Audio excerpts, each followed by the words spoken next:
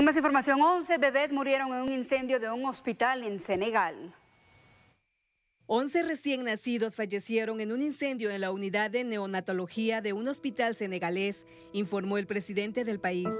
Apenas tres bebés fueron salvados. A sus madres y familias les expreso mis condolencias más profundas, publicó en su cuenta de Twitter el mandatario.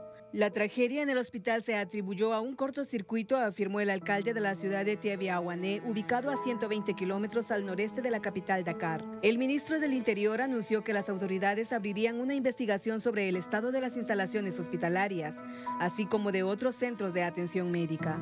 El fuego ocurrió un año después de que otros cuatro recién nacidos murieran en un incendio en un hospital en el norte de Senegal. Otras muertes han previsto la preocupación por la salud materno-infantil en la nación de África Occidental, conocida por tener algunos de los mejores hospitales de la región.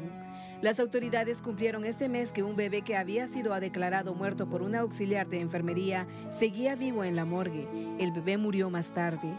El año pasado, una mujer embarazada murió en el norte del país, tras esperar en vano a que le practicaran una cesárea.